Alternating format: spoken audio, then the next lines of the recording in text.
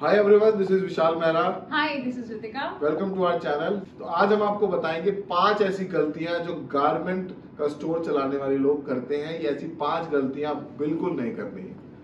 तो सबसे पहले मैं आपको बताऊँगा सबसे ज़रूरी पॉइंट है जो गलती आप करते हैं वो है कि पुअर इन्वेंट्री मैनेजमेंट या तो आपके पास स्टॉक बहुत ज़्यादा है या बहुत कम है और सही टाइम पे अवेलेबल नहीं है। ये तीन गलतियों की वजह से या तो आपका स्टॉक बहुत ज़्यादा हो जाएगा तो आपका कॉस्ट ज़्यादा हो जाएगा स्टॉक बहुत कम हो जाएगा तो कस्टमर फ्रस्ट्रेट हो जाएगा। तो ये स्टॉक को मैनेजमेंट करने का काम बहुत ही ज़रूरी है। इसकी बहुत टिप्स हम देते रहते हैं। सॉफ्टवेयर को यूज़ कीजिए एक्सेल को यूज़ कीजिए और अपनी इन्वेंट्री को अच्छे तरीके से मेंटेन कीजिए।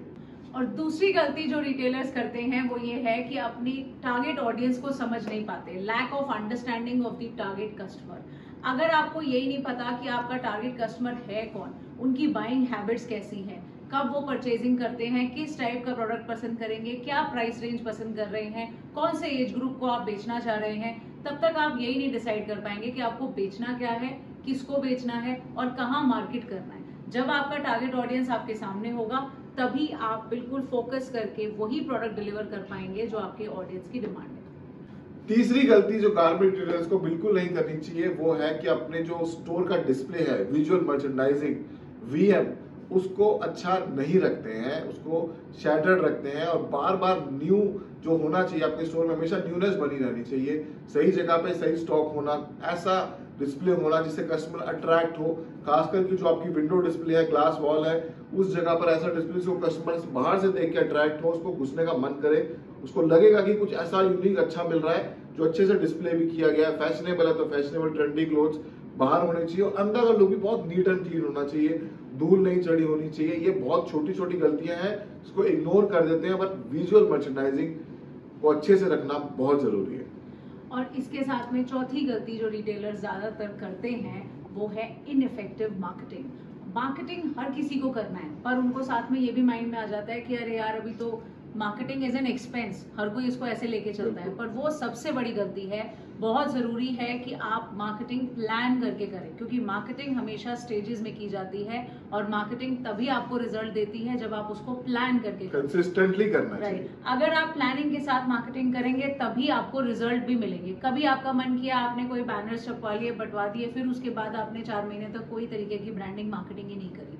तो उससे आपकी कंसिस्टेंसी नहीं दिखती है आपके कस्टमर को आपकी विजिबिलिटी रेगुलरली नहीं दिखती है और उसकी वजह से आपकी सेल्स अप एंड डाउन जाती रहती है। तो आपको मार्केटिंग को रेगुलर रखना रोकना नहीं है चाहे कोई भी सीज़न हो up and down social media सारे मीडियम्स को यूज़ कीजिए और अपनी मार्केटिंग को रेगुलर कीजिए। Right right. जो भी आपका बजट है ज़रूरी नहीं है कि आपको सीधा पेपर में ऐड डलवाना है। जो भी आपका बजट है उसको माइंड में रखते हुए आप मार्केटिंग कीजिए बट जो भी आप कर सकते हैं उसको रेगुलरली कीजिए।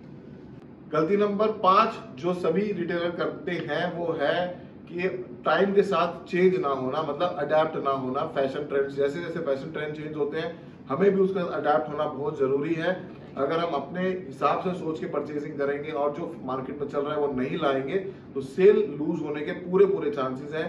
फॉर एग्ज़ाम्पल मैं आपको देता हूँ, आज की डेट में कॉर्ड सेट्स बहुत इन है कार्गोज बहुत इन है इस साल में। अगर हम अपने स्टोर पे रखेंगे तो बहुत अच्छे रिजल्ट्स आने के चांसेस हैं। Right right. और साथ ही साथ में रिटेलर्स ऐसा भी करते हैं, मैं बहुत सारे रिटेलर्स से मिलती रहती हूँ रेगुलरली और मैं उनकी जब बातें सुनती हूँ तो ज़्यादातर कॉमन निकल के आती है। वो हमेशा एक ही बात बोलते हैं कि ये हमारे एरिया में नहीं चलता, ये मैं कभी नहीं बेचता।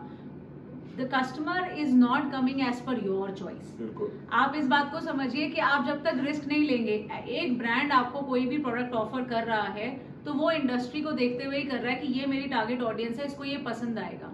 आपको भी अपने स्टोर में वो न्यूनेस वो फ्रेशनेस लानी पड़ेगी। तभी तो आपके कस्टमर को कुछ फ्रेश दिखेगा। तो आपको चेंज करने में टेंशन नहीं लेनी चाहिए। बहुत ही कम क्वांटिटी से रिस्क लीजिए बट लीजिए जिससे कि आपके कस्टमर को आप कुछ फ्रेशनेस दिखा सकें।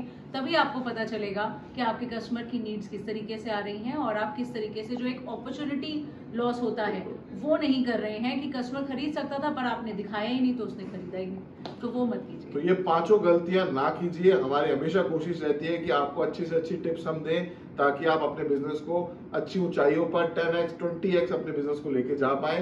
तो हमारे चैनल को सब्सक्राइब कर लीजिए इस तरह के इन्फॉर्मेटिव वीडियोस के लिए और इस वीडियो पे लाइक शेयर एंड कमेंट ज़रूर कीजिए। Thank you